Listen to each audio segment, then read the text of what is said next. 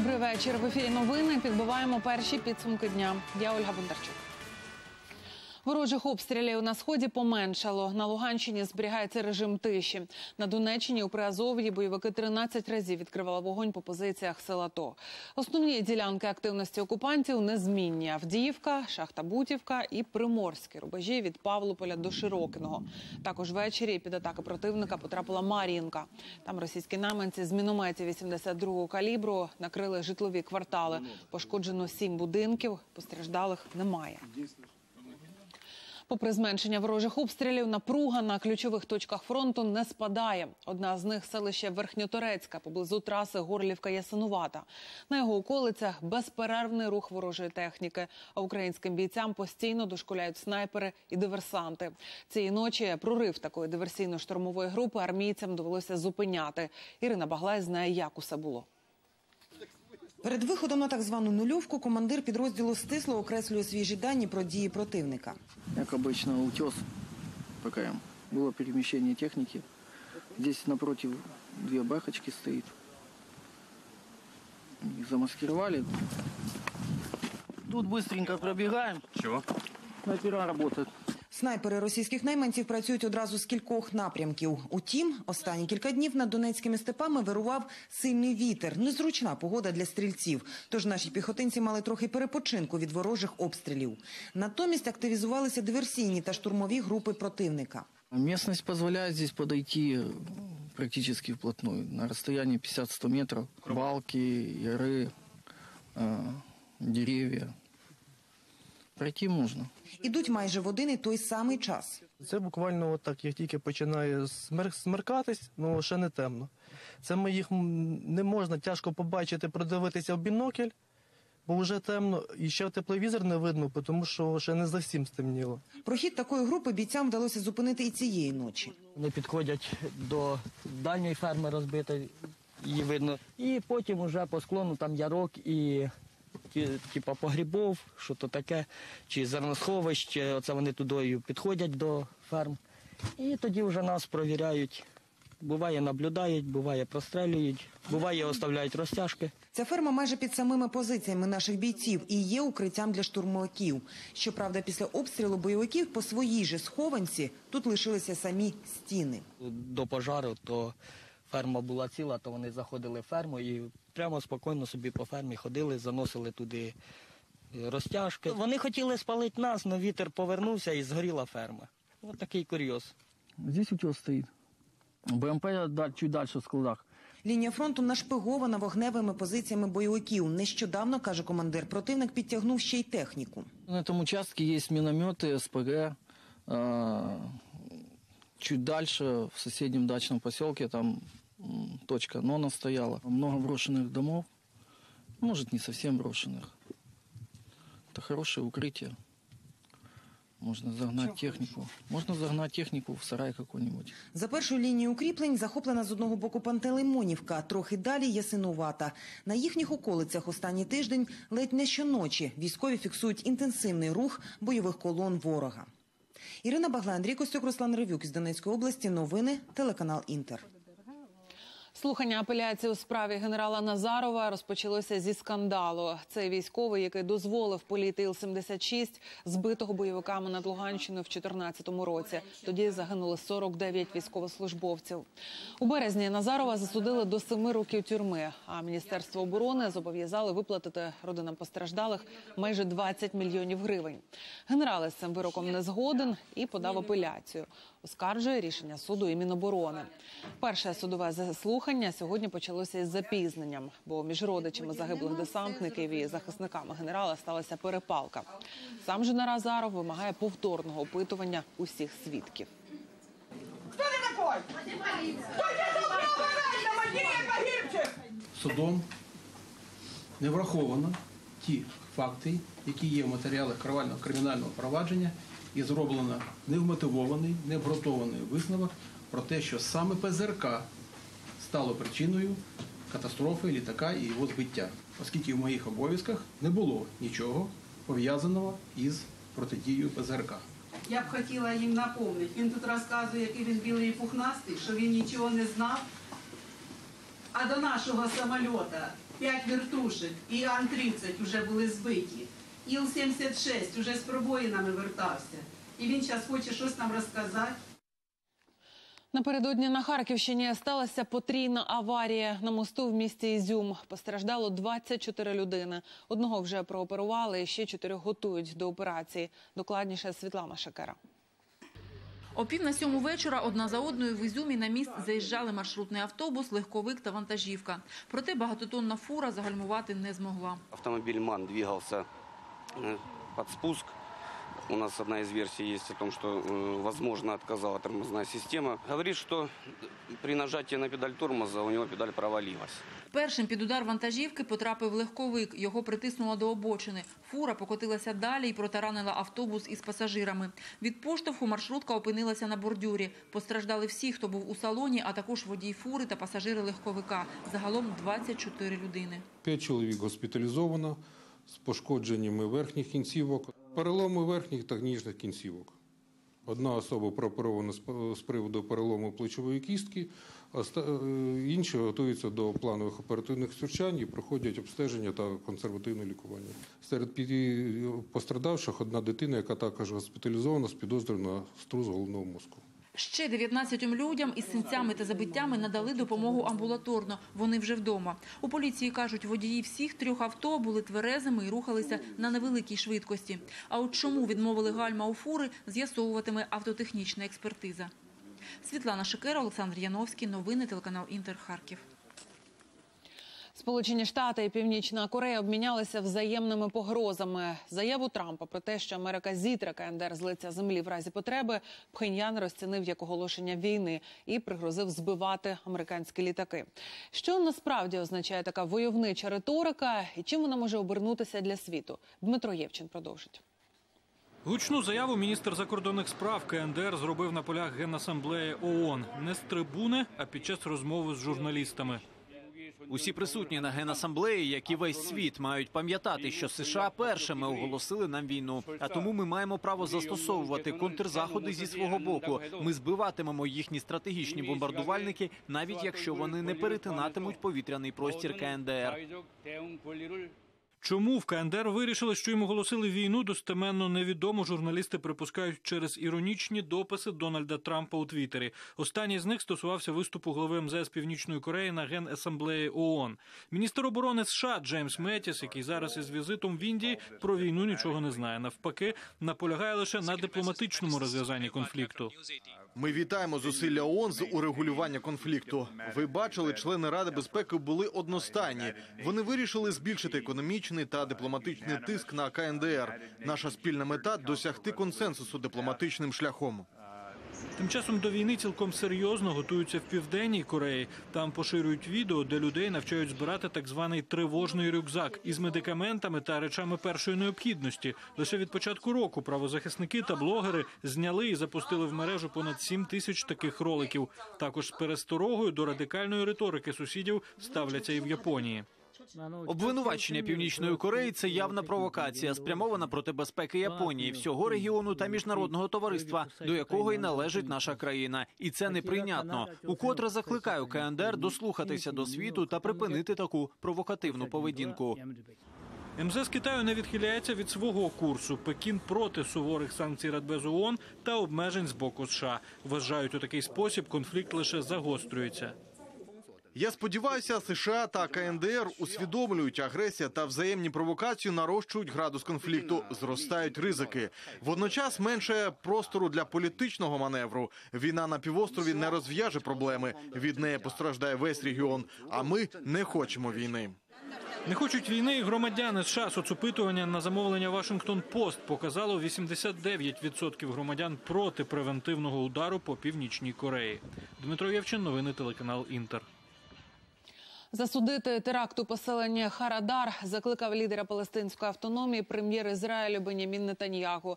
Там озброєний палестинець атакував блокпост. Троє ізраїльтян загинули, ще один поранений. Військові попросили арабів, які йшли на роботу, показати документи. Та один із них вихопив пістолет і відкрив вогонь. Під час перестрілки нападник загинув. Слідчі вже встановили його особу. Це Ахмед Джамаль. У грудні він отримав дозвіл на роботу в Ізраїлі. Зараз до поселення Харадар зайшли підрозділи армії Ізраїлю. Ультраправа партія Альтернатива, яка пройшла до парламенту Німеччини, вперше провела спільні збори. Засідання відбулося в Берліні. Політики домовлялися про спільні дії в Бундестазі. Там альтернативу представлятимуть аж 93 депутати. Партія з антимігрантською риторикою набрала майже 13% голосів під час парламентських виборів і стала третьою політсилою в Німеччині. Вперше від часів Другої світової до Бундестагу пройшла ультраправа партія. Альтернатива обіцяє домогтися скасування санкцій проти Росії і визнати анексію Криму. Мер каталонського міста Ліїда відмовився підтримувати референдум щодо незалежності регіону. Анхель Рос – один із 203 голів каталонських муніципалітетів, який засуджує спроби відокремлення від Іспанії. На думку Роса, парламент Каталонії мав отримати згоду решти іспанських провінцій для проведення референдуму про незалежність, але цього не сталося, і таке рішення тільки розкололо країну. Згідно з конституцією, Іспанія єдина і неподільна, тому референдуми щодо незалежності окремих регіонів незаконні. ЄС вирішив запровадити посаду відповідального за безпеку харчових продуктів у кожній країні союзу. Таке рішення ухвалили на розширеній нараді через фіпроніловий скандал з яйцями, який розгорівся влітку. Єврокомісія чекала початку політичного сезону, аби посадити за один стіл представників усіх країн-членів. До чого домовились, розкаже Олена Абрамович. На нараду високого рівня Єврокомісія запросила не лише тих, кого зачепив фіпроніловий скандал, а й міністрів та представників служб із питань безпеки продукції з усіх країн Євросоюзу. Питання безпеки харчових продуктів є епіцентром дискусії у ЄС. Ми зібралися, аби знайти більш послідовний та скоординований підхід на майбутнє, щоб такі інциденти більше не траплялися. Фіпроніловий скандал справді розвивався хаотично. Бельгія виявила токсичний фіпроніл у яйцях ще в червні і не повідомила інші держави, посилаючись на таємницю слідства. А вже за кілька тижнів фіпронілова лихоманка охопила птахоферми Нідерландів, звідки яйця експортують у понад десяток європейських країн. Їх перевіряли, потім знімали з продажу і знищували тисячами. Асоціації били на сполох про шкоду для здоров'я, а чиновники запевняли, ніякої загрози немає. Уявіть, ЄС виробляє 360 мільйонів яєць на день. Ми вилучили 20 чи 30 мільйонів яєць для експертизи, і лише в яйцях із трьох ферм виявили перевищення норми. Це означає, що споживач має з'їсти кілька яєць з однієї тієї ж ферми за короткий період часу, і лише тоді це може зашкодити його здоров'ю. Винуватцем історії стало нідерландське підприємство Чікфренд, яке забезпечує прибирання птахоферм у кількох країнах та постачає для них мийні засоби. Виявилося, що виробник підмішував у мині засоби фіпроніл, призначений для виведення бліг у тварин, але заборонений для птахів. Чи робили це умисно? З'ясовує слідство. Тим часом Брюссель заявив, потрібно створити нову посаду в кожній країні. Ми опрацюємо питання щодо запровадження посади офіцера з безпеки харчових продуктів у кожній країні ЄС, аби інформація передавалася якомога швидше та ефективніше. Окрім того, необхідно проводити регулярні тренінги з кризового менеджменту. А от карати Бельгію за несвоєчасну реакцію чи Нідерланди, де працював недбалий виробник, Єврокомісія не збирається. А бельгійський уряд кілька тижнів тому уже пообіцяв компенсувати збитки птахофабрикам, які постраждали від фіпронілового скандалу. З Брюсселя Олена Абрамович, Іван Єрмаков. Новини Європейське бюро телеканалу Інтер. Депутати від «Опоблоку» звернулися до конституційного суду з вимогою визнати неправомірними перевірки місця проживання переселенців. Ініціатори звернення заявляють, що після таких візитів соціальні служби позбавляють людей права на отримання соцвиплат і пенсій. Сегодня 50 народных депутатов зарегистрировали обращение в Конституционный суд Украины признать неконституционным решение правительства. Часто работники соцслужб не приходят проверять, живет ли там пенсионер или нет. Они ему аннулируют выплату пенсии, а потом требуют или просят вознаграждения за то, чтобы не аннулировать выплату, а как можно быстрее ее восстановить. И вот такая сегодня коррупционная машина, по словам пенсионеров, работает по всей стране. У селі Сердюківка на Черкащині майже третина учнів місцевої школи змушена пропускати заняття. Їм просто нічим їздити на уроки. Живуть діти на станції за три кілометри від села. Досі їх возив автобус місцевого підприємства, але минулого тижня там відмовилися робити. Станіслав Кухарчук довідувався, чому. Світлана мешкає на станції Сердюківка за три кілометри від села. На своєму двоколісному коні тепер щодня намотує по 12 кілометрів. І все, аби тільки дитина не пропускала шкільних занять. Велосипед витримує. Головне, щоб я витримала довго. До минулого тижня вісьмох школярів і шістьох вихованців дитсадка підвозив транспорт місцевого агропідприємства. Та тепер їм відмовили. Мовляв, не мають ліцензії на перевезення дітей. Так, Настя каже, що ми повинні вихідні наші нерівності другу домножити на два. Максим поспішає наздогнати шкільну програму. Минулого тижня два дні дев'ятикласник сидів удома, ремонтував старий велосипед. Каже, поки тепло, до школи їздитиме на ньому. Ну, так тепер приходиться пів сьомого вставати, бистренько, через, через півчаса склався, зробив там, що треба і пішов. Уже тиждень адміністрація Сердюківської школи вирішує проблему, але під програму шкільний автобус заклад не підпадає. За нормативами 3 кілометри відстань замала. Напередодні Смілянська райрада запропонувала возити дітей за 30 кілометрів до Тернівки тамтешнім шкільним автобусом.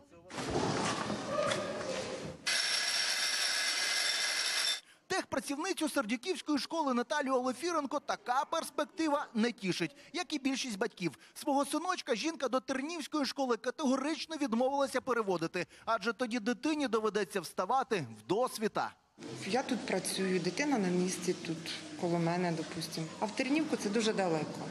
Це далеко просто. У райадміністрації озвучили іншу пропозицію, яка може стати виходом з ситуації.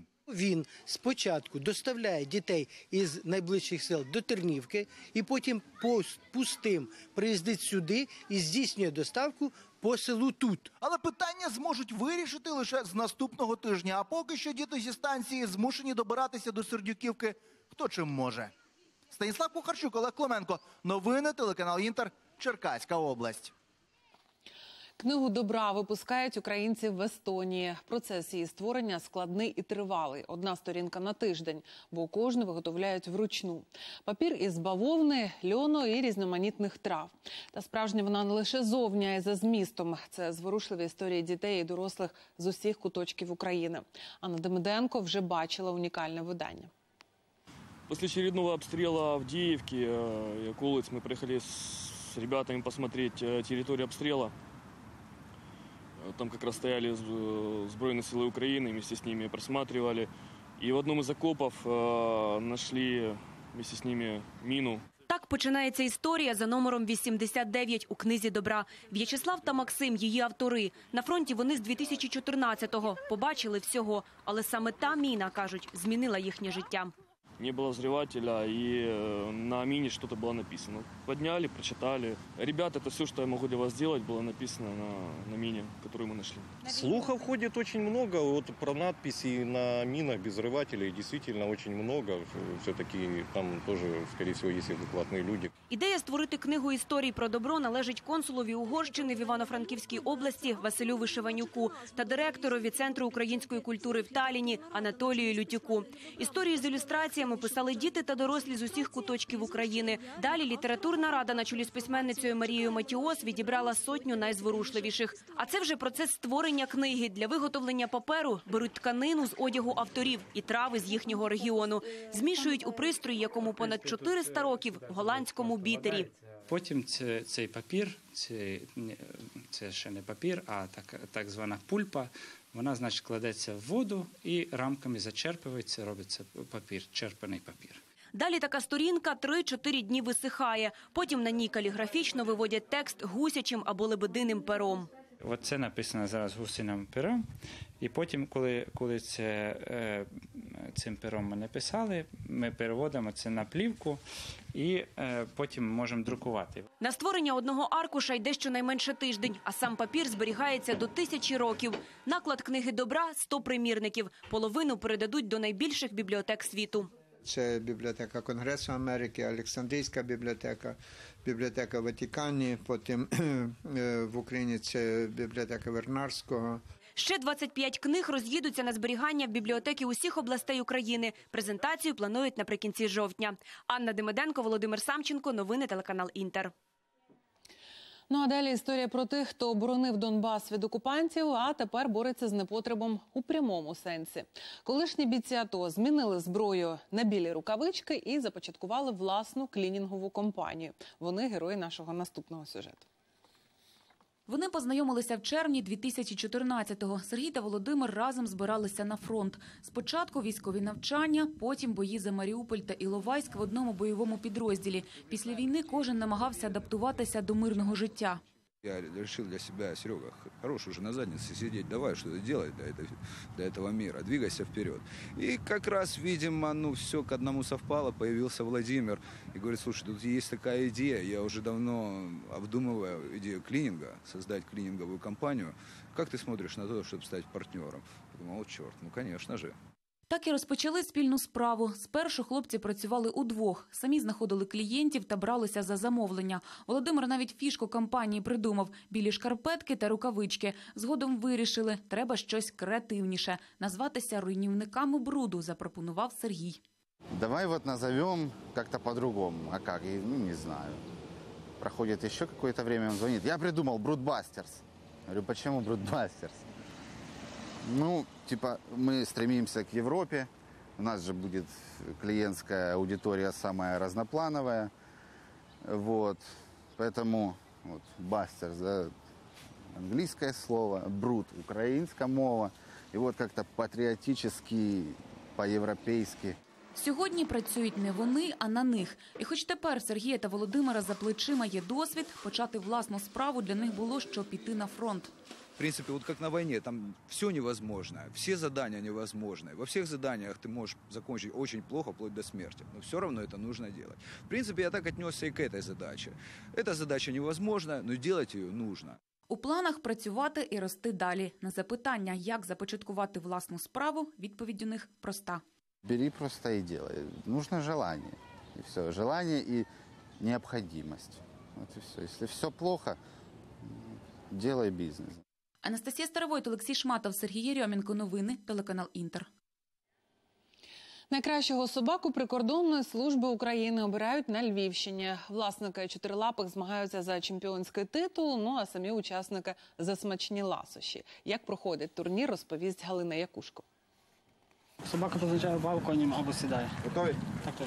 Кінологічний центр західного управління прикордонної служби у великих мостах. Сьогодні тут триває чемпіонат із дресирування службових собак.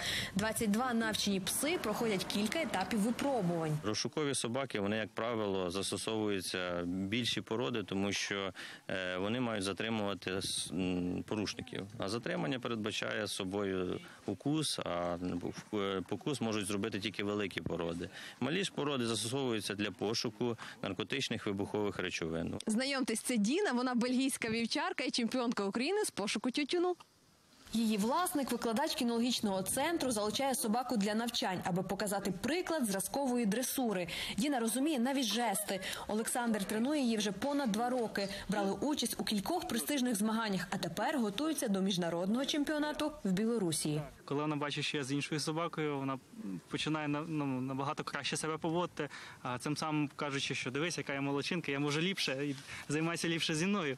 А Для чого не тобі? І ну, це дає такі певні е, успіхи і покращення в їх роботі. Ось і лише вісім місяців. На навчання її привіз прикордонник з Одеси. Це для неї гра. От вона знаходить, виходить, закладку, а я за це її поощряю апортом. Змагання в кінологічному центрі триватимуть два дні. Переможця оберуть за результатами загальних заліків. Господарі отримують кубки та титули, а собаки смаколики від спонсорів. Галина Якушко, Юрій Голубінка. Новини телеканал Інтер. Львівська область.